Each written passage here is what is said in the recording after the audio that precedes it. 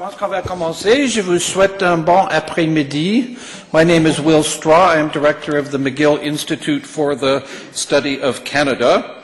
And I would like to welcome you all to this year's Fulbright lecture in the McGill Institute for the Study of Canada. Je vous souhaite la bienvenue à notre conférence Fulbright de l'Institut d'études canadiennes. We are particularly delighted to have Dr. Michael Stamm deliver a lecture entitled From Forest to Newsstand The Canadian Origins of the American Newspaper. Now, Dean Manfredi will tell you more about. Is there something? Does this sound strange or not? Okay. Um, we'll tell you more about the Fulbright lecture in a moment. But first, we are hosting a large number of other lectures throughout the month of March. In fact, we're thinking of branding it as Miskapalooza. Um, tomorrow, Professor Bill Waiser, historian um, from the University of Saskatchewan, considered by many the leading historian of Saskatchewan, is going to deliver a lecture entitled A Tale of Two Futures, Saskatchewan in 1905 and 2005, which will be at 4 p.m. in the Faculty Club Gold Room. On March 21st, Noah Richler will deliver the annual Mallory Lecture. On March 25th, Dr. Claire Campbell, who is here, um, will deliver this term's Eakin Lecture. Um, and on March 27th, Professor Robert Leckey um, will um, be giving a talk at MISC. So for more information, we have lots of pamphlets at the uh, registration desk. You can check our website and so on. We will also be hosting a small half-day conference entitled Does Bilingualism Have a Future? commemorating the 50th anniversary of the launch of the Royal Commission on Bilingualism and, and Biculturalism on May 1st. Um, so um, there's lots um, to attend, but um, let's turn now to this uh, event, which I've been looking forward to ever since I first met um, Michael. But I'd first like to invite Christopher Manfredi, the Dean of the Faculty Arts, of Arts, to say a few words on behalf of the faculty. Thank you very much, Will. It's always a pleasure for me to participate in an event uh, held by the McGill Institute for the Study of Canada, where I spent uh, six, uh, six great years in the old house on, on Peel Street. And I'm particularly happy to welcome you here to the uh, Fulbright Lecture. The, MISC has hosted Fulbright lectures since 2006, and the Fulbright Scholars Program has helped in raising MISC's profile both locally as well as in the United States. The Fulbright program offers the McGill Institute for the Study of Canada an annual visiting chair focused on public policy and fields of mutual interest to Canada and the United States in order to further the development of MISC's program uh, and research. The major benefits that MISC realizes through the Fulbright Visiting Chair are the intellectual value of integrating a dedicated researcher into ongoing areas of scholarly pursuit, the increased public visibility the Institute gains by having noteworthy scholars addressing issues of current debate and importance, and the long-term benefit of ongoing academic ties with the United States in areas of mutual interest and concern. And Michael joins distinguished list of former Fulbright lecturers, including uh, U.S. Ambassador to Canada David Jacobson, Karen Kedrowski, Raymond Cox III, and Stephen Farnsworth, among, among others.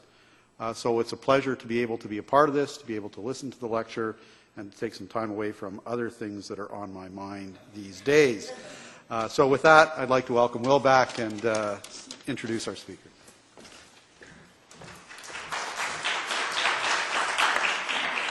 Thank you, Dean Manfredi. I don't know if you know how Fulbright works, but basically there's a time of the year when I or people in other departments get a number of applications of people who are looking for uh, to be Fulbright fellows, and some of them, you know, look more or less interesting. When I saw Michael's, um, I jumped out of my uh, chair. I was going to say out of my pants, but I didn't. Um, out of my chair, and um, getting to know him over the last few months has been one of the great delights um, of this year, as well as getting to know his partner Ani, who is um, there, um, a professor of um, political science.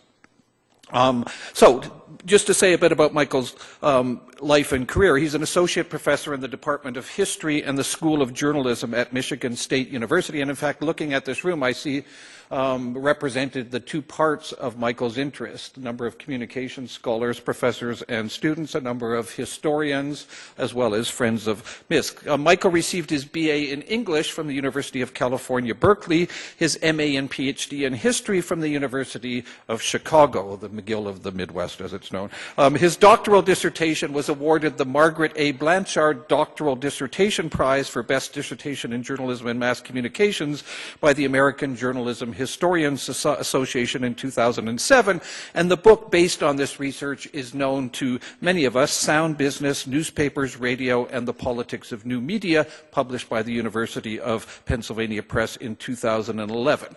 Broadly speaking, Michael's research focuses on two areas, the political economy of news and journalism, and the consideration of new media in historical perspective. And his articles on these subjects have appeared in the Historical Journal of Film, Radio, and Television, American journalism, religion, and American culture.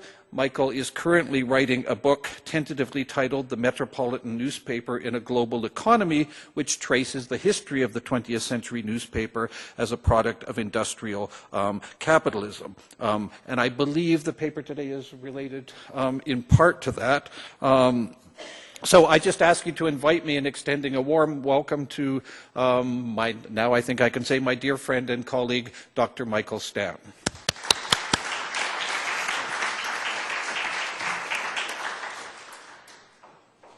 Thank you all so much for coming. Uh, I wanted just to say a quick thanks before I get started. Uh, to Fulbright Canada for their generous support, um, and to the MISC board for allowing me to be here this year, uh, and to the staff for making it such a wonderful place to come every day.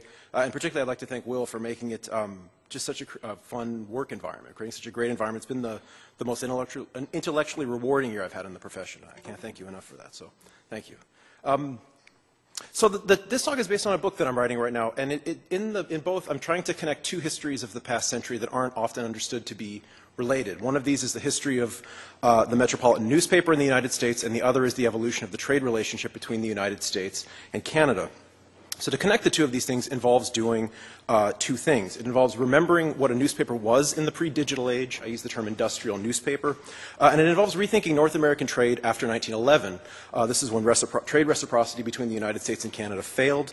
Um, to be realized, a significant individual commodity was made duty-free soon after, and that was newsprint. And that would provide a tremendous boost to uh, both Canadian paper manufacturers and to American newspaper publishers for the next century. And it would provide a powerful example for policymakers to invoke when promoting free trade agendas throughout the century. history. So the book and the, and the, talk more generally are an attempt to balance uh, a history of the 20th century newspaper as a product of North American natural resources and trade, uh, with also with a specific focus on the Chicago Tribune and its publisher Robert McCormick, pictured here. Um, the choice of this narrative focus is not arbitrary. Um, as I hope to show, uh, the paper and its publisher were central to this related international history.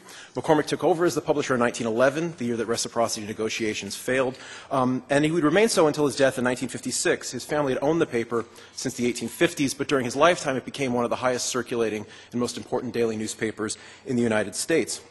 One of the lingering reminders of the paper's success is the Tribune's uh, neo-Gothic tower built on, uh, completed in 1925 and still a distinctive, feature of the city's skyline to this day. If you walk down Michigan Avenue in Chicago, it's still one of the most noticeable buildings um, in the city. The Tribune Company's success under McCormick was due in no small degree um, because of a strategy of aggressive vertical integration, uh, including the control of raw material supplies of newsprint from Canada. This was an era in which newsprint supplies and prices could fluctuate dramatically, both due to market forces and due to rationing programs imposed during, during the two world wars. Uh, and the Tribune always ensured itself a stable and affordable supply of the single most important input to its business, and really to any newspaper. This is the largest line item in the production of a metropolitan newspaper of the early 20th century is its newsprint bill. So having access to newsprint uh, made the Tribune, helped the Tribune become arguably the leading voice of American conservatism and isolationism in the New Deal era, and it also enabled the company in 1919 to begin publishing the New York Daily News as a wholly owned subsidiary. The Daily News was the first tabloid newspaper in the United States, and it was for a time the highest circulating newspaper in the entire country. These are two of the most famous examples of the paper. These are known to many historians and, and people. Um, the, the one on the left is the Tribune's um, overly enthusiastic uh, proclamation that the Republican Thomas Dewey had defeated the Democrat uh, Harry Truman in 1948. The famous photo is Truman obviously holding that issue up. Uh, and the second is uh, the New York Daily News' 1928 photo of Ruth Snyder executed at Sing Sing prison. Uh, a, it sold 1.5 million copies that day. It was the highest uh, selling news, daily newspaper at any point in history in the United States to that day. And it was taken by a photographer who smuggled a camera in on his ankle um, and then took the photo of Ms. Snyder. So both of these things are, are not only cultural, they're, they're, cultural touchstones. You often see them in journalism history textbooks. But if you look at them as material objects, their history traces back from the point of purchase at an American newsstand to a tree in a forest in Ontario, or more likely uh, in Quebec for the one uh, on the left. So much of this work that I'll be presenting today talks about that, and many of the photographs that I'll be showing are drawn from a major archival collection that has just opened to researchers in the last couple of years, or it's in the process of opening uh, in Ottawa. Um, and I've been the first researcher to use them, and these, many of these photos are unpublished photos from that collection of Tribune Company activities on the North Shore uh, of Quebec and in Ontario. So as research that looks at, at both communications media and Canadian staple goods, this is obviously a project that follows quite firmly in the steps of Harold Innis. And it's a subject at hand that ties together um, the two major themes that run throughout the Innis corpus. And one of these is the political economy of staple commodities, and the other is uh, the history of communication. And you see this, this connection show up in some speculative form throughout his work in the 1930s. By the time he was writing The Bias of Communication in 1951, which published in 51, he had arrived at the idea that there was something particularly important uh, about, the, about the relationship, in the, in the connection between the relationship between the history of Canadian staples exploitation and the history of Canadian and the history of communication. He was writing this as the subject of his presidential address to the American Economic Association in 1952. Um, he died, and didn't survive to deliver it. It was published the following year, however, in the American Economic Review. In it, you can see the outlines of some of the connections that Innis was making. Um, he, he, in, in, the essay, he talks about the, the exploitation of, of, staple raw materials, as he called them. And for him, the chronology was fish, fur, lumber, wheat, minerals, and pulp and paper. So in, he had started with the histories of fishery and the fur trade in his early work, and he was convinced that the political economy of his own era was defined by pulp and paper. And he had some good reasons for doing this. In the 1950s, pulp and paper production was Canada's leading industry and accounted for nearly half the value of all Canadian exports to the United States. Having access to Canadian newsprint, Innis believed, was an essential element to the rise of the mass circulation daily newspaper in the United States and was integral in tying the two nations together in a trade relationship defined by, US, by U.S. exploitation of a significant Canadian natural resource, the forest. And I hope to pick up on some of these themes today um, in a very limited and modest way. This is a photo of, excuse me, of the Spring Log Drive in Quebec. Um, and it represents the natural origin of those two papers I just showed you. Um, we often call newspapers now dead tree media, and what, what, this is sort of a, colloquialism that we often use now in the Oxford English Dictionary even. Um, it's a trope most usually to, mostly used to portray newspapers as these lifeless and static remnants of the past in an era of vibrant and participatory digital media. Um, but there is a literal truth hidden in this, and newspapers really are the products of felled trees, and and a century ago, that's all they were. There was no practical way to deliver content to a mass and dispersed public on a daily basis without about newsprint. Today, a newspaper, a newspaper is not only something that we access as text on print, but it's something that we access on these. We all found out about the Pope, for example. I don't think any of us found out about the new Pope, for example, by reading a printed newspaper, but we found out about, about it by reading the newspaper, right? But until well into the 20th century, if you wanted to publish a newspaper, you needed a factory and you needed a great deal of paper. And this was the, getting, getting adequate supplies of paper was a persistent problem for the newspaper business throughout the 19th and the 20th century. The, until, until the middle of the 19th century, newsprint had been made from cloth rags. You could make a very clean and very good piece of paper out of cloth rags. The problem is there's only so many of them.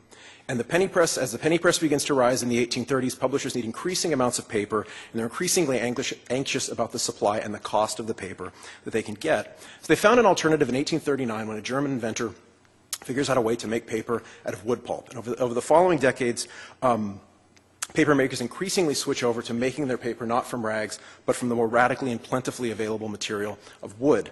Um, by 1880, the majority of paper makers had switched over to using wood to make their paper, and this dramatically expanded the amount of paper available, and it dramatically expanded the amount of information circulating publicly in printed newspapers. So in 1879, when the process of making wood-based paper had become more or less the dominant one in the industry, uh, North American newsprint manufacturers produced roughly 150,000 tons of newsprint in 1879. 25 years later, using mostly using almost exclusively wood, papermakers on the continent were producing almost 1 million tons of newsprint annually, and this rapidly increasing supply of paper helped to enable the era, for better or worse, of yellow journalism as defined by William Randolph Hearst and Joseph Pulitzer. Uh, by the late 1940s, Newsprint mills in North America were producing roughly 5.5 million tons of newsprint annually, and Canadian manufacturers were prone to making such boastful but true claims that, quote, each day we make enough newsprint to cover a two-lane highway from Vancouver to Halifax. So in the 20th century, the daily newspaper was, was enabled by advances in the mass industrial production of newsprint. And this industrial aspect of newsprint is often forgotten today. Um, but it's important to remember that in making newspapers into the important institutions they were socially and politically, publishers adapted almost all of the strategies and tactics that any other manufacturer did uh, in their business. Newspapers became powerful institutions because of the owner's application of industrial technologies and the harnessing of raw materials. Publishers needed dead trees to feed the machines. So because of this incessant need for large supplies of newsprint, newspapers like the Tribune, like the Chicago Tribune, came to have an influence not only on society and politics, uh, but also on the, on the environment and, and, on North American trade. Many of the most available stands of trees in the early 20th century um, were, not, were not as well fit to, new, to make newsprint in the United States as the Douglas fir of the American West and the pine of the American South had wood that was too dark to make desirable newsprint without a great deal of chemical processing. Um, in addition to the transportation costs associated with getting a very heavy and bulky commodity from the West Coast and the South to the Northeast and the, and the Great Lakes region, where, where, most of the metropolitan regions and major newspapers were located 100 years ago. Spruce proved to be ideal, and the location to make, to make the newsprint, and the location of it along and north of the U.S.-Canada border, especially along the Atlantic seaboard and the Great Lakes region, made the, made the tree particularly attractive, and it made publishers begin to seek the raw materials for their newspapers increasingly north of the U.S.-Canada border, and it increasingly began to draw U.S. Publishers, publishers into arrangement with Canadian paper mills. So what they, what they eventually did, what U.S. publishers eventually did was to produce an industrial commodity. And the material history of this commodity is in some respects an interesting echo uh, of some of the arguments that Karl Marx offered in Capital, a book published in 1867 during this conversion from rag-based paper to wood-based paper. Uh, capital is about a lot of things, but at the core, it's a study of the commodity. And the commodity Marxist hides what it is. He says it's at first, at first sight, quote, an extremely obvious, trivial thing. A commodity has a value expressed in money, and if I give you the appropriate amount of money for that commodity, I take possession of the commodity that I desire. And the simple exchange, however, elides the commodity's social and material history, and Marx tries to make his readers aware of the metaphysical subtleties that commodities have. When he first introduces this concept in Capital, under the concept of commodity fetishism, as he calls it. He starts with the example of a wooden table. And he says, it's absolutely clear quote, clear, quote, that by his activity, man changes the form of the materials of nature in such a way as to make them useful to him. The form of wood, for instance, is altered if a table is made out of it. Made from wood by human labor, a table becomes a commodity exchanged for money, a quote, thing which transcends sensuousness, as Marx put it, and the human labor and the raw materials are obscured in the transaction. The same is true of the printed newspaper. The difference is that it offers us something different than a place to put our lecture notes or our wine glasses after a lecture. Uh, it offers a daily vision of social and political reality for those who buy them. So in some respects, this is a project that traces the newspaper as, as an industrial commodity um, and its capitalist metamorphosis from the Canadian forest to the American newsstand. Um, and it starts, uh, and I'll talk about now, in Baie-Comeau, Quebec. I'll talk a little bit more about Baie-Comeau in a second, but I just want to show this visually. This was the Chicago Tribune's uh, paper mill up in Baie-Comeau, Quebec. And, and, one of the few advantages, if there are one, um, of having a pulp and paper company um, extract resources as opposed to, say, uh, a petroleum company is that there are uh, staff photographers at a newspaper to take nice pictures of it. And so these are some of the photos uh, taken uh, of the operations uh, at the Tribune's mill uh, in Baie-Comeau, Quebec. So they get the, they're, they're pulling the logs out of the forest into the mill. These are then made into paper, these massive paper rolls, which go into these mills that sort of, the, these warehouses that sort of look like the end of Indiana Jones. Uh, they're then put onto boats where they're taken to Chicago, and you can see uh, this is the Chicago Tribune printing plant. You can see the Tribune Tower in the upper left of the frame and the paper being unloaded at the printing plant along the Chicago River. Uh, and then this is uh, being unloaded at the, the same reels being unloaded in New York at the New York Daily News plant. And what you get is this. So a tree might make a table, but it also might make things that shape our ideas about things about such as war and peace, as these two uh, front, page, front pages from December 8, 1941 demonstrate. And what this also means is that for almost 100 years now, the, the, uh, a few months short of 100 years now, we've had an integrated continental economy uh, in newsprint, and that our local newspaper, the thing that is really, this, it has the name of our city in it, is a product of global industrial capitalism. So as purveyors of industrially produced commodities, U.S. publishers were in many respects similar to automakers. Both groups used factories, both wanted steady, predictable, and affordable supplies of essential raw materials, many of which could not be found readily or affordably in the United States, but which could be found elsewhere in the hemisphere. This motivated Henry Ford in the 1920s to try ultimately unsuccessfully to build a rubber plantation in the accompanying company town of Fordlandia on 2.5 million acres of government granted land on the Amazon River in central Brazil in order to make tires for his cars. And this is also what motivated Tribune publisher Robert McCormick to seek timber lands in Canada. And the aim was the same control the production process as much as possible through vertical integration down to the most basic elements needed in production. Now, the fact that McCormick even had the opportunity to go to Canada to do this had, had, had, to do with a significant shift in thinking of, in state policy about the tariff from 1911 to 1913. So policymakers in the U.S. and Canada had uh, discussed trade reciprocity at various points, and they had operated under the Elgin-Marcy Treaty, Elgin-Marcy Treaty, a free trade pact from 1854 to 1866, the U- and when the U.S. abrogated it. And free traders on both sides of the border in subsequent decades tried to, tried to get free trade and reciprocity reinstituted picks up momentum in the early 20th century. And by 1911, U.S. and Canadian policymakers had come to an agreement uh, about trade reciprocity that offered free trade in many natural products and uh, in such as wheat and produce, as well as in manufactured newsprint. The U.S. Congress approved the pact. When it goes to the Canadian Parliament for approval, Conservatives in Parliament mounted spirited opposition, uh, the outcome of which was that pro-reciprocity, uh, prompting, prompt, prompting, the Prime Minister Wilfrid Laurier to call an election, the outcome of which was that pro-reciprocity liberals were trounced at the polls, Conservatives came into power, and reciprocity failed. And it would fail. This, would be, this was the big, the 1980s were seen by free traders as the big return to the failure of 1911 in Canada. Now, Canadian voters um, recoiled from reciprocity and, and its liberal proponents for a variety of reasons, not the least of which uh, was the fear of annexation by the United States, and this is a fear that is not as, was not as irrational in 1911 uh, as it is a century later. In 1911, the U.S. was in the middle of creating a global empire in the 13 years after the Spanish-American War. The U.S. had taken possession of colonies stretching across the Pacific to the Philippines.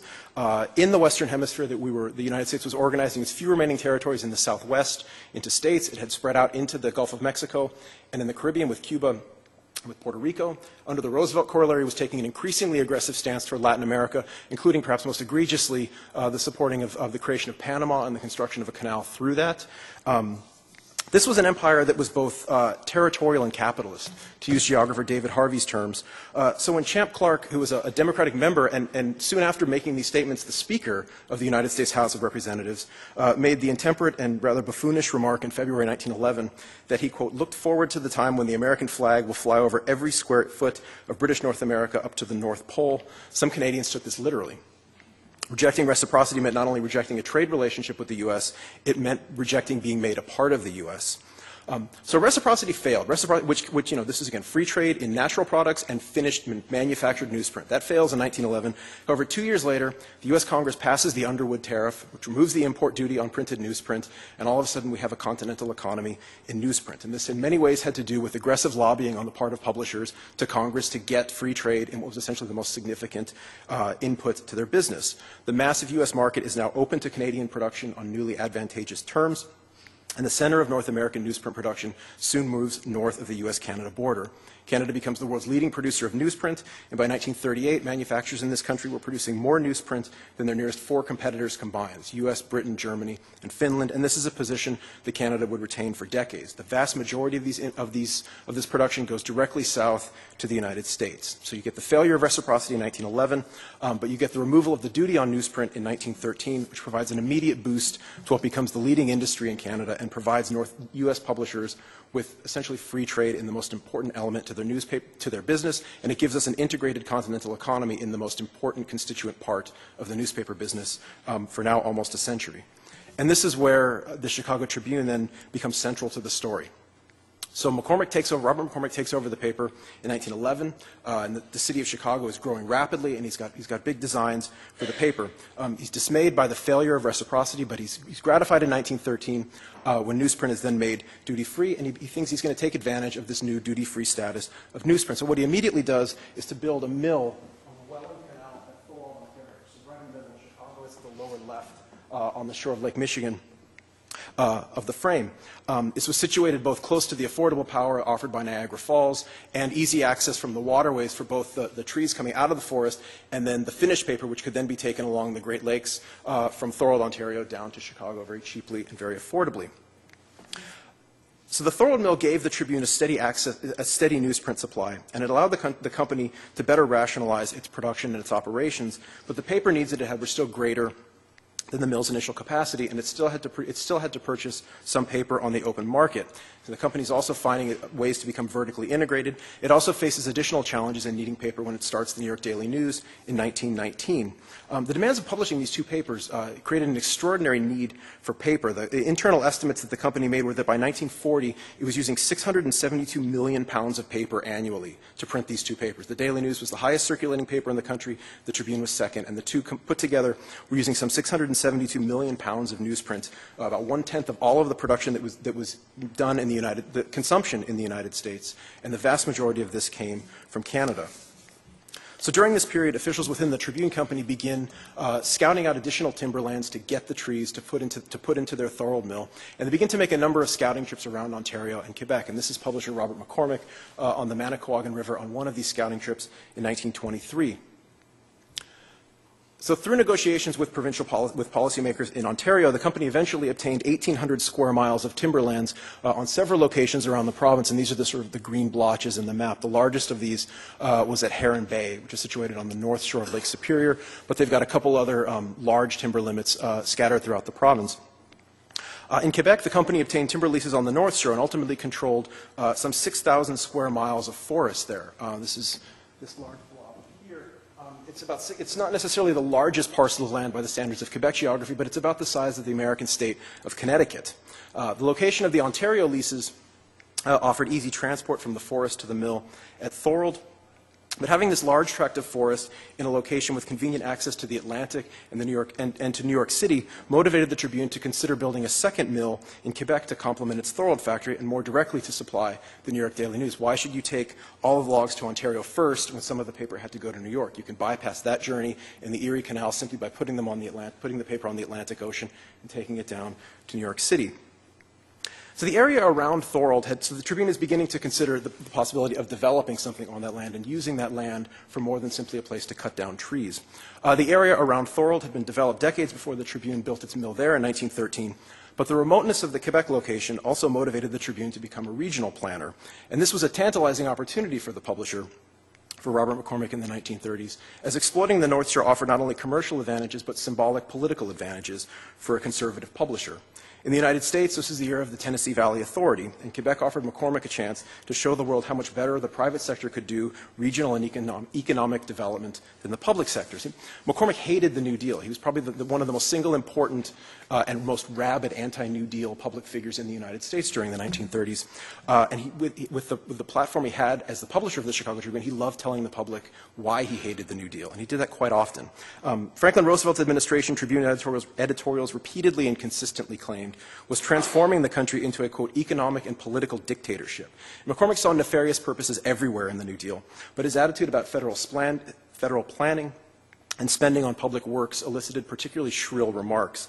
Uh, among these loathsome public work pro- pro- works programs was the TVA. It's one of the signature programs of the early New Deal. It's an extraordinarily eff- extraordinary effort to use federal spending and authority to transform the re- uh, entire region of a country. Uh, the basis was the construction of a series of hydroelectric dams along the Tennessee River, which at the time only had the Wilson Dam at Muscle Shoals, Alabama, and the subsequent use of this cheap power would then be used to develop the region and to develop industry there and to develop settlement there. Was a very sort of backwards region uh, at the time. So the town of Norris, Tennessee became a particularly focused point of hatred for McCormick. It, it was a town that was needed. It was built by the New Deal. There's a series of these New Deal, New Deal towns you find scattered throughout America. Norris is one of the most prominent ones of them. It was the first construction project undertaken by the TVA. It was needed to house workers uh, who were building the Norris Dam. That was the first major project that the TVA had undertaken. But it was also something that was going to be used as a laboratory to show how New Deal, New Deal principles could be reflected in the built environment. They were it, was going to, it was going to show how social and economic justice could be encoded into a city built by the federal government as part of a regional economic development plan. The town was to be, it was to be integrated into its natural surroundings, uh, and housing and services were made to be provided to residents affordably and efficiently. It was built in 1933 and 1934, and it was, it was aimed at uh, being a concrete example of how, the, of how the federal government could improve Americans' material lives. Um, but this is not how McCormick saw it. Um, to him, the structuring of the lives and the citizens, uh, the, the, lives of citizens in planned communities like Norris demonstrated that, as one of his editorials put it, quote, there is no longer room to doubt that the communism of Lenin and Stalin has taken root in the United States. Can anyone doubt that in the inaccessible mountains of Tennessee is being grown the germ culture that is intended to infect America? like 15 years before McCarthy.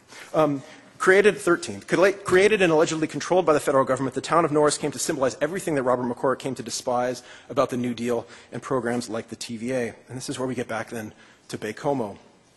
So it's somewhat ironic that while lambasting the TVA in editorials in 1937, the vocal anti-statist Robert McCormick is himself funding and building a well-planned town in Canada for workers at a new mill that's built, uh, built by the Tribune Company, uh, and it brings industrial development and hydroelectric power to a region that had almost none previously. Uh, this is uh, a photo of the construction of Baie-Comeau. It's a, it's a rather remote location. There's very little industrial development at the time. It's about uh, 250 miles downriver from Quebec City, about 420 miles downriver from where we sit today. Uh, building Baie-Comeau and exploiting the region involved the, involved the Tribune building private hydroelectric power uh, on, the, on the dams in the regions, uh, and, it, and the, its development as a whole in the 1930s represented the largest private undertaking in all of Canada since the Depression had started in 1929. And this is really, if Roosevelt was to have his, TV, has, was to have his TVA, McCormick wanted his as well. Uh, by 1940, the Tribune Company estimated that it had spent some $150 million on materials, wages, and taxes on its projects in Canada, or something on the order of 2 billion in contemporary dollars over the course of that decade. Uh, and it rarely, uh, it rarely avoided opportunities um, to uh, tout its success as a U.S.-owned private enterprise stimulating the Canadian economy. And these are some of the photos of the company. Again, this is the advantage of having a newspaper do this as opposed to some other sort of corporation. You begin to see the town uh, taking shape along the waterfront. A construction of a, you know, they had to build everything. There's literally nothing there um, when they got up there. And then this is downtown Baie-Comeau a decade after the town had been built.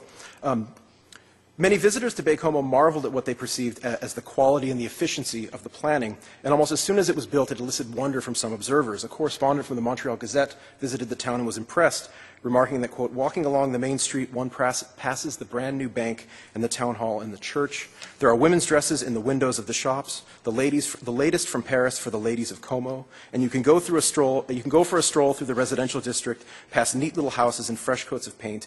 Amazing changes have taken place in a year. The wilderness has been tamed. By 1948, after roughly a decade in operation, the town was flourishing. The former wilderness now had, in addition to a new, a new newsprint mill and a robust housing stock, a full range of municipal, facil municipal facilities and private stores, and a number of civic, civic associations and religious organizations had started in the region. Um, at Baie-Comeau's official 10th anniversary in 1948, the Financial Times noted that, quote, the old province of Quebec is reaping the benefits of the enormous expenditures of American capital, and the Francophone, Francophone paper La Patrie called the town a, quote, testimony to private industry.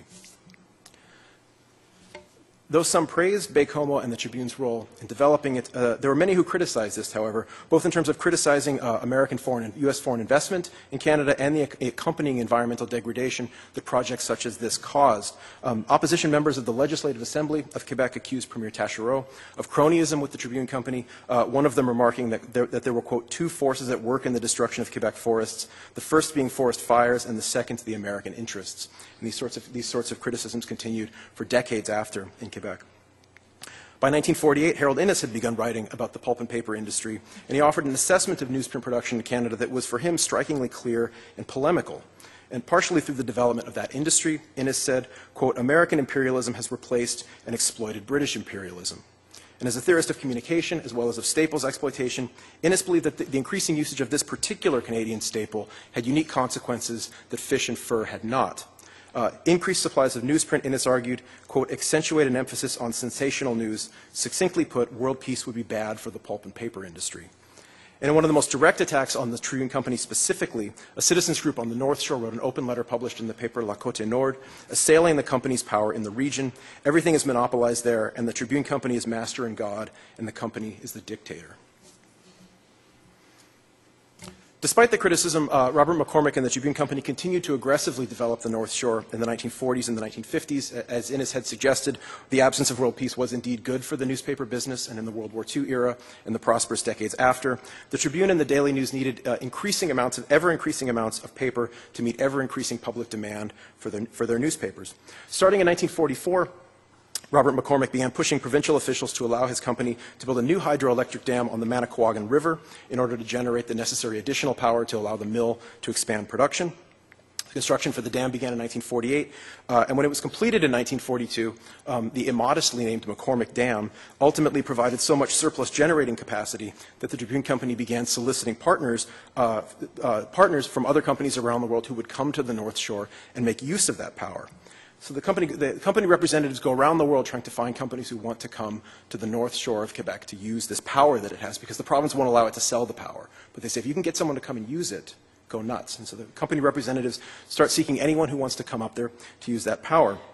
They negotiate with some 40 companies around the world uh, in the early 50s. Uh, and in, 19, in, 1954, the company partners with British Aluminum Company, uh, which decided to build a $31 million aluminum smelter uh, in a town site right next to Baie-Comeau.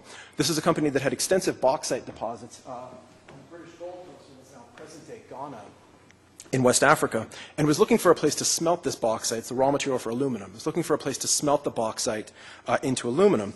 It had, cons- it had, been considering building this smelter either in Norway or in Africa, uh, but economic and political factors uh, stood in the way. And there's, there's, a, there's a memo I found uh, in the archives where a Tribune Company executive reports on a meeting that he had with officials at British Aluminum. He writes back to his superiors uh, that, quote, they are reluctant to invest in low cost power sites in Africa and Norway because of the political factors and the length of time to develop the power. They fear Africa because of the black man's ascendancy and the insecurity of any investment made there. Norway is socialistic and the interference of government is terrific, end quote. Um, conditions in Quebec seem more agreeable to the company, and the combination of cheap hydroelectric power and an immediately pro corporate provincial policy convinced British Aluminum to come to the North Shore in 1956 where they built um, a massive aluminum smelter. And that's the smelter uh, sort of in the middle of the frame up there, and they built an accompanying town site uh, just downriver uh, from where the existing uh, plant was. Uh, British Aluminum's partnership with the Tribune Company created a jointly owned company called Canadian British Aluminum, or CBA, which thus brought aluminum production into a newspaper, into an American newspaper company's diversifying corporate structure and extending the scope uh, of its staples-based operations.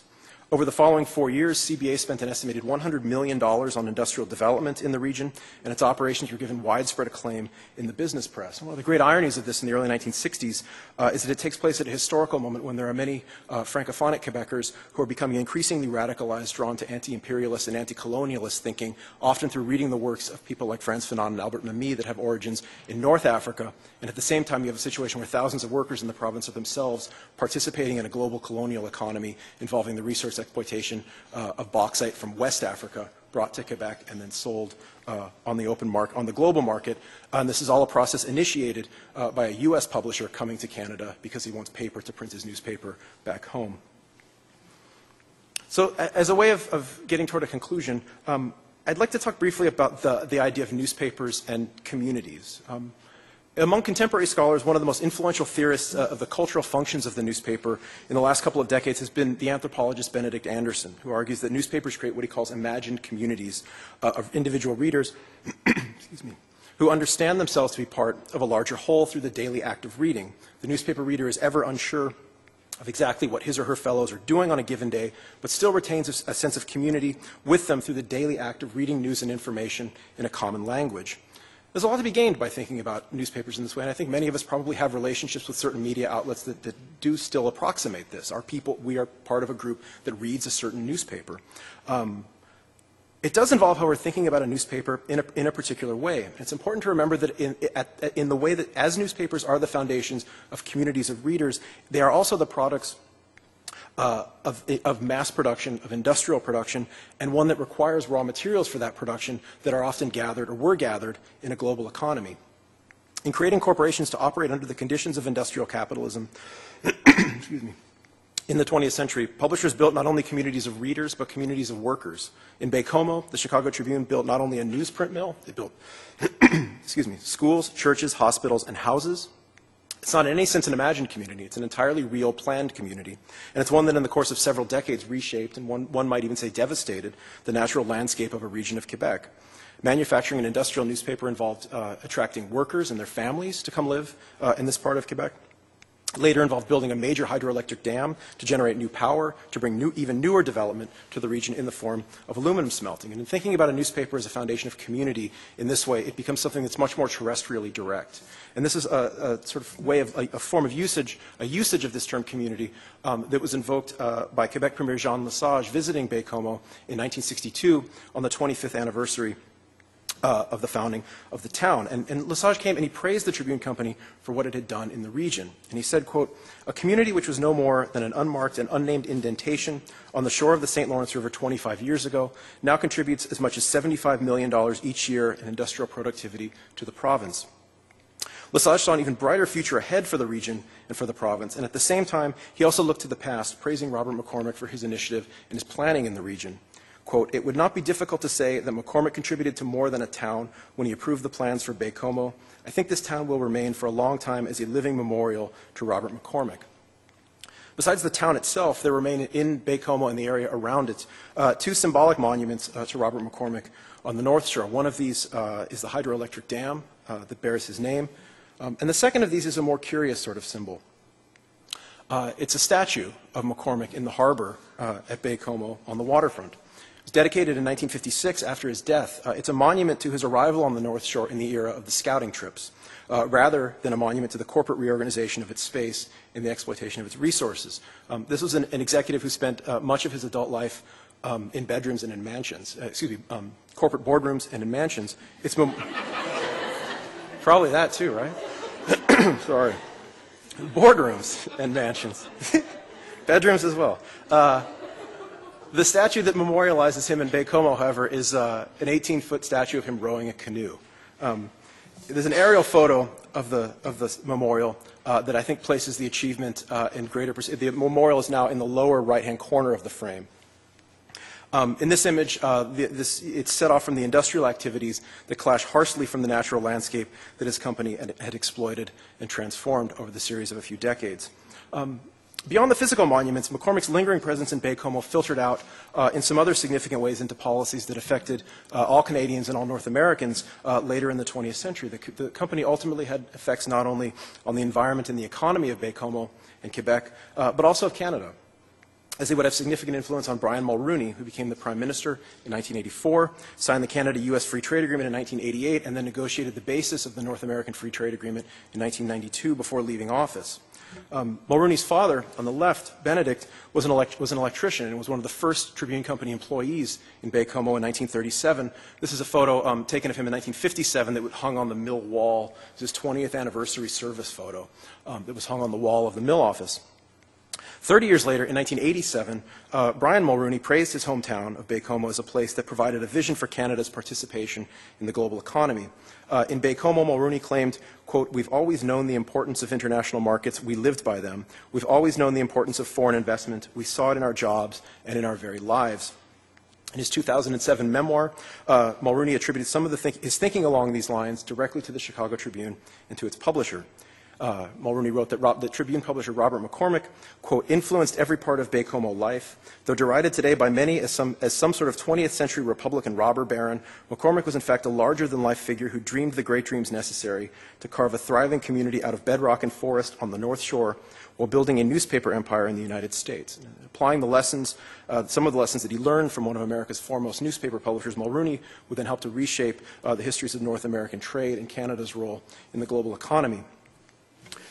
Uh, one needs to be careful in, in assessing statements like Mulroney's. I'm, I'm, not quoting them to practice armchair psychology or to over to you know make the case that Mulroney's childhood is the key to understanding North American trade. Um, Instead, it's to point out the rhetorical use of Baie-Comeau and developments like that in Canadian politics to sell these sorts of things, to sell the beneficence of American corporations to citizens and voters who were often skeptical of these sorts of things. And this had been the case in Baie-Comeau for decades. Um, throughout Baie-Comeau's planning and development, McCormick and his executives uh, had been very friendly uh, with, with uh, Premier Taschereau. Um, they developed very cordial relationships then uh, as, as Baie-Comeau's construction drew closer to Maurice Duplessis, uh, pictured here. Duplessis was uh, the, the Quebec premier who ruled the province, I, I think, with a, a degree um, of centralized authority that was far greater than any of the, the most caricatured New Deal autocrats that McCormick um, skewered in his pages in the States. And McCormick and Duplessis uh, never, I, as far as I can tell, were never close personal friends, uh, but they did develop a warm uh, working relationship. They shared a staunch anti-communism, and each used the other to his advantage. McCormick got his industrial development, and Duplessis was able to consistently tout it as an example of how public-private partnerships between his province and American corporations worked to Quebec's benefit. This was uh, at a speech in Baie-Comeau at the, at the opening uh, of the CBA smelter in 1958. Uh, Duplessis denounced critics of American corporations while touting their contributions to Quebec. The extremists speak against foreign investment, Duplessis claimed, while, quote, the province of Quebec believes that American capital is doing good in the province of Quebec. Now, the question of whether American investment in Quebec or in Canada has been good, I think, is something that remains open.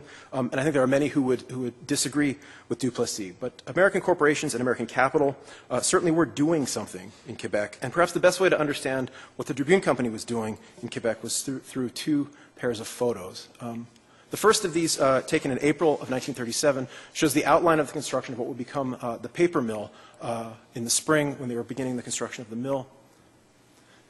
The second, taken in October from, I guess, about the same vantage point, uh, shows workers dwarfed by the size of the machinery that went into that building that was constructed. So you get in the first image the outline of a newsprint mill sketched into the cleared land of what had just recently been a forest, uh, and the second shows an industrial interior and an industrial mode of labor that are entirely new to the region. And then in the second pair, one can see the transformation of the landscape around Baie-Comeau, one taken uh, in 1931, um, and then the second taken uh, in 1962. Uh, from, the air, the town, from the air, the town looks as well planned as any New Deal town, it's with its curvilinear streets harmonizing with the landscape, the mill area clearly defined, four um, neat piles of logs stacked behind the mill awaiting industrial processing. Uh, over the course of several decades, the Tribune Company imprinted itself upon the landscape of Quebec to obtain the materials it needed to print newspapers in Chicago and in New York, and to establish itself as one of the most important media corporations in the hemisphere. Uh, this is the American newspaper operating as an industrial concern in a global economy, uh, and this is the Canadian origins of the American newspaper. Thank you. Thank you.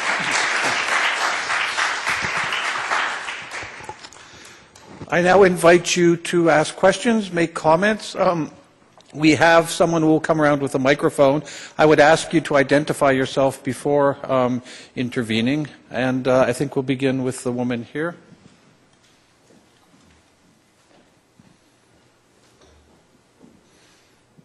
Thank you.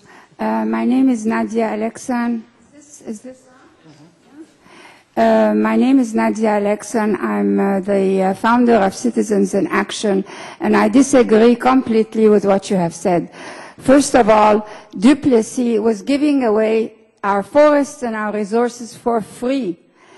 The companies that you say did good for the people, you did not speak about the pollution, you did not speak about the pittance they were giving to workers, you did not speak about uh, what kind of benefits, what kind of um, uh, protections they had when they died in those uh, factories.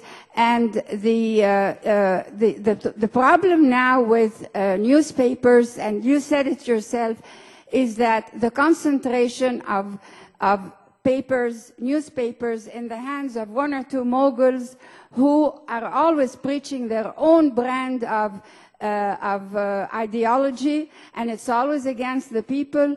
And um, there, there, are different. The, you don't speak about the pollution that, and the destruction of the uh, of nature uh, with those dams and those uh, uh, and, and, and this machinery.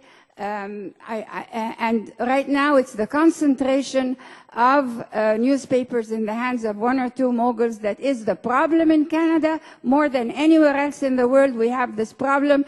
Of, and, and it's an affront to democracy because when you have the, the voices of one or two people um, and, and the rest of, of the people have no voice, then this is not a democracy at all. And free trade was good, yes, for business, but it was not good for the majority of Canadians.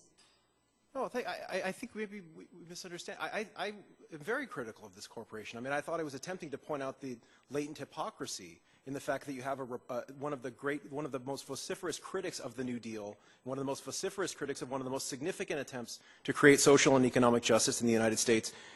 Ironically, I, maybe I, I, the, the, uh, what, I, what I actually maybe think it is is, hip, is hip, hypocritically. I mean, I was trying to point out the latent hypocrisy in what he was doing, not celebrating. No, no, no, I, no, no, I didn't. Uh, I, I think maybe, maybe, uh, no, that, that isn't what I said. I, I said there is an idea that Duplessis was putting out to the public that business was good, and I think many would disagree with that. And I, I think in many respects I would put myself into that category. I'm not trying to celebrate at all what this company did to the environment or to the workers of Canada. I think what I was trying to do was point out how hypocritical it was that you have this, this man in the United States criticizing the exact thing that he is doing in Canada with the, and the only reason he can do it is because of state policy about the tariff. So you have an anti-statist taking advantage of state policy, giving him free newsprint, and then coming to Canada to then do that. So I, I, I don't, I, I- I think we actually probably agree with each other. I wasn't trying to at all celebrate what was done here in sort of in, in environmental terms or in economic terms. I, I'm very critical of these. I was trying to point out how hypocritical, in fact, this, this company was. So, but yeah, I think we probably agree with each other about much of what you said. I know, Michael, you agree more than, uh, I thought. Other qu- comments or questions? Yes. Uh, I'm Bill Buxton, at Concordia University. Uh, you talked about the American ownership of newsprint plants in Canada. Um, to what extent was this an issue in terms of American ownership as opposed to Canadian ownership? To what extent was there Canadian ownership in the newsprint industry within Canada or within the pulp industry? For instance, uh, be Price, what was its ownership structure? Was it just rampant Americanism in which they basically just did what they wanted without any limits in terms of, buying land and property for their own uses? The, the largest producer was the International Paper Company, which is a multinational concern that had started in the United States. But there was significant Canadian production. The Abitibi Corporation, um, later the Consolidated Pulp and Paper Company, um, Spruce Falls Pulp and Paper, which was 50% owned in Canada and 49% owned by the New York Times. But there was a significant um, domestic ownership of the industry in Canada. But there also, I, I don't know the statistics off the top of my head, but I do know that the largest, by far, paper mill, wa- pa- pa- paper company was International Paper, which was a multinational concern that operated um, on both sides of the border. But there was significant ownership by Canadian corporations of these, um, of these corporations.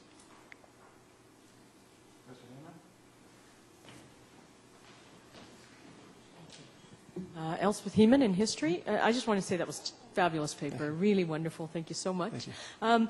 What about the? I wondered about the uh, the profile of Baie-Comeau in American newspapers. Uh, Allied, rival, critical. I wonder if there was a genuine interest in the little company town that could, or you know, how that followed. There was a pretty significant amount of coverage of the paper, uh, of, the, of the town in the Tribune and in the Daily News during McCormick's lifetime.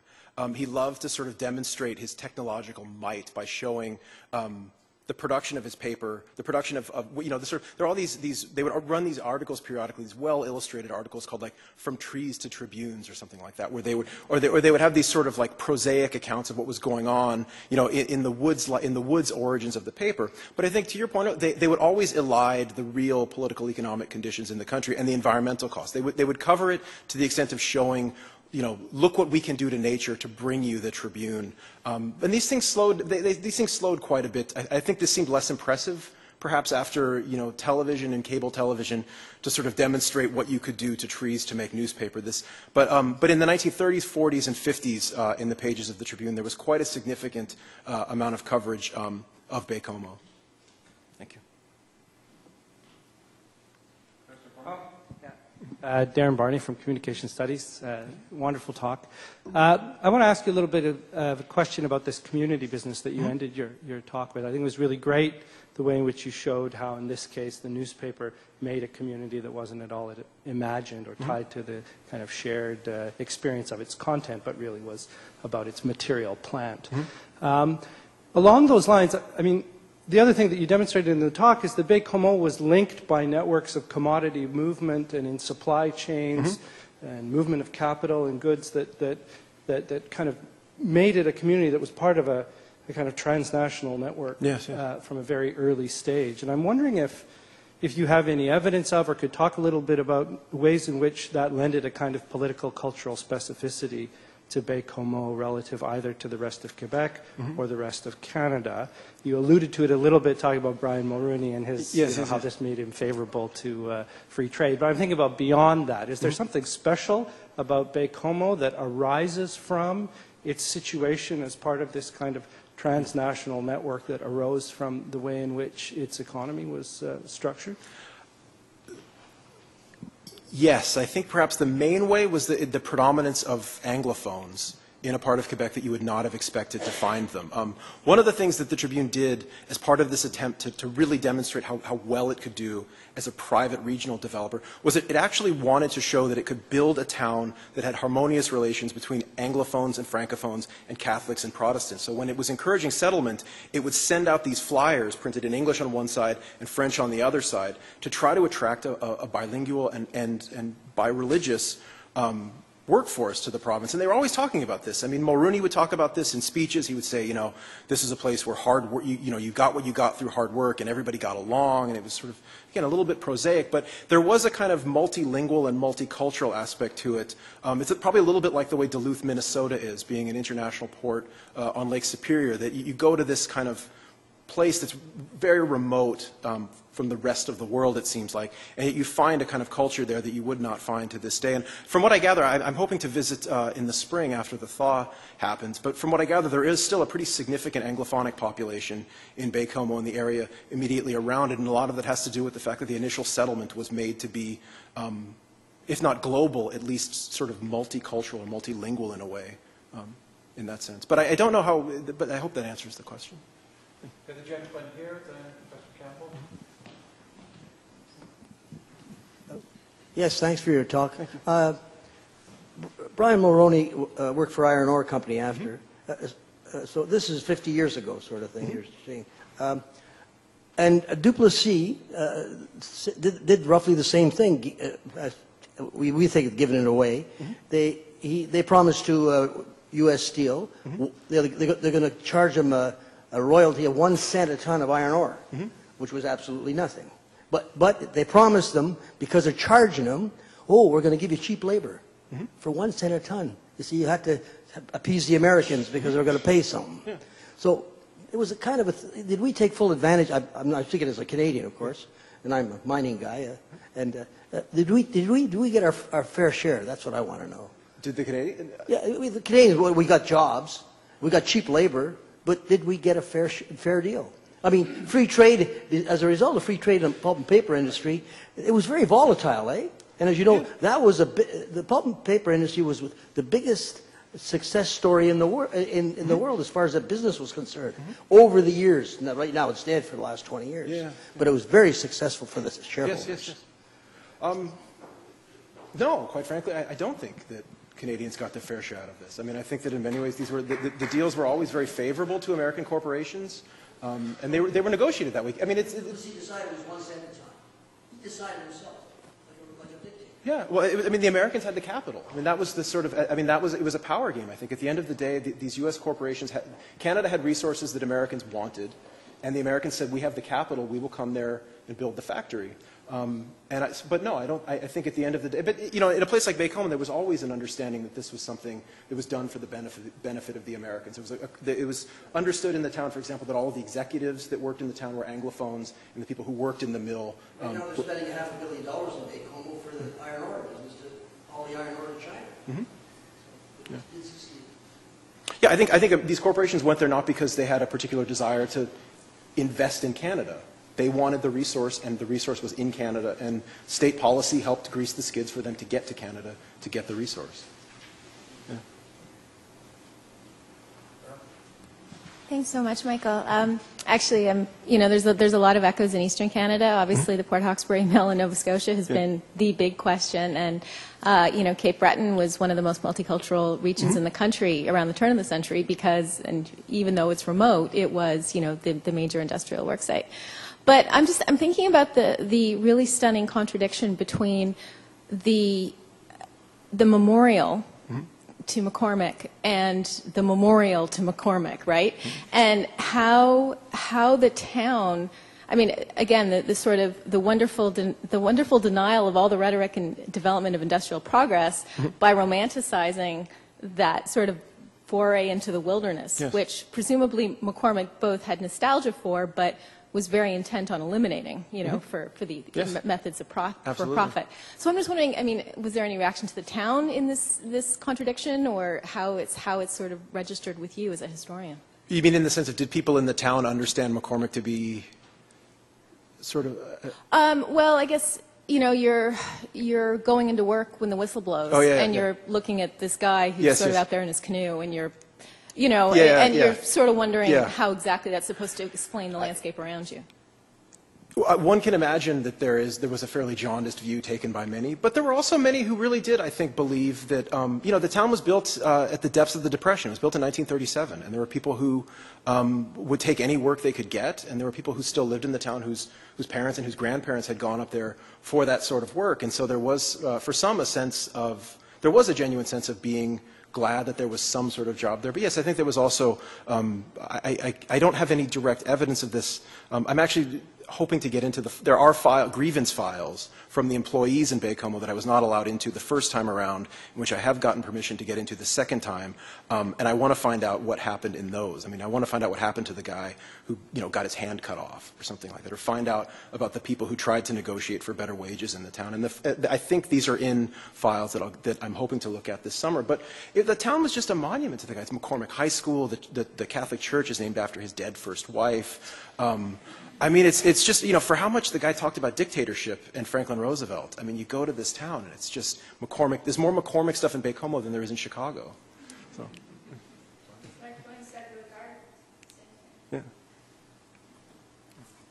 Um, hi, Michael. Uh, great talk. I really enjoyed it. And actually, your the photograph that you showed um, of uh, Jean Lesage, having just given a talk or a lecture at my class this morning on Quebec history and about the Quiet Revolution and and their uh, opposition, at least ideologically, uh, to U.S. Uh, business. And then there I see a. a photograph with Jean Lesage, you know, riding that little truck with McCormick by his side. moment. So did that not clash? I mean, what kind of, did that not generate a reaction on behalf of uh, people? I, I would, yeah. Anyway, It's a great question and one that I actually have on a list of things to follow up on, like investigate quiet revolution.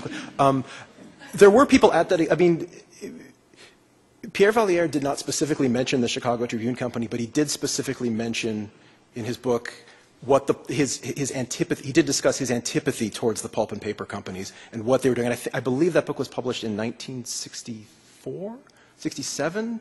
It's right in that era. And, and so there was, um, there, was there, there were contemporary voices that I know that were critical uh, of Lesage era politics towards places like Baie-Comeau. Um, but it's a great question. It, like that's actually one of the things on the list of like need to go investigate this because it is sort of contradictory, right? That you have this guy going up there and putting a hard hat on and you know you know cruising around in a bulldozer and then saying very different things when he comes to the metropole about foreign investment and about politics, and then going up there and saying these sorts of things.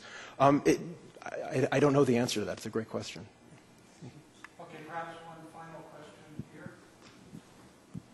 Thanks. Blair Rourke, I'm a retired economist. Um, you hear stories about the company towns controlling everything, like the commerce and all that type Yes, of thing, yes, the stores and that type. Did, did uh, McCormick and his Chicago Tribune control the commerce and other activities in the town or not? Great. No, and it was specifically by design. Um, the great, the, the counterexamples that he had available to him for what a company town looked like when it didn't work were right in Chicago. There was Pullman, uh, which is right at the edge of the Chicago city limits, uh, built in the 1890s by a railroad car magnate. There, was, there were massive riots in Pullman in 1893 um, over people who got tired of the discipline imposed by the factory bell and then having to go to the company store. And the other example was Gary, Indiana, which is right next to Chicago, developed by U.S. Steel with no real plan or no real um, attempt to, to create any sort of infrastructure for, for the better, the social lives of workers. Um, so when they went up there, they, they specifically, and they, have all this in the in the, the internal corporate memos. They wanted um, what they called an open town. They didn't want um, workers to believe that they were, they were shopping in the company store. They really wanted to encourage um, private development. And again, I think they really, there really was an attempt to use this town as a laboratory for private development. This really was an effort to show the private sector can do this so much better than what's done in the public sector, and they very much by design. Housing was meant to be stuff that the worker the houses were sold to workers. They were not company. They were built by the company by, by a subsidiary company, and then sold to workers who then paid mortgages and then eventually owned the homes. Businesses were all done were all privately owned, and this was very much by design so that they could tout this as look how great this town works. You know, just let private industry go nuts. We can have a whole host of Baie-Comeaus all over the place. Okay, well, one of the wonderful things is that Michael um, is going to be around for still a few more months, so I'll continue to learn about Canada from um, someone from our neighbor to the south. Um, I'll ask you in a second to join me in thanking Michael again, but I'd like to present you with this. I realize it's a dead tree medium, but it's a, um, a token of our um, appreciation. So thank you very much. And before I say that, I'll invite you to um, join us outside for a glass of wine. And I'll say what I've been saying the last few times. Don't run up and crowd Michael with questions and comments. Let him get to the wine, um, and I'm sure I'll be happy around, to stand around and talk to you then. So thank you very much, Michael, for this wonderful talk.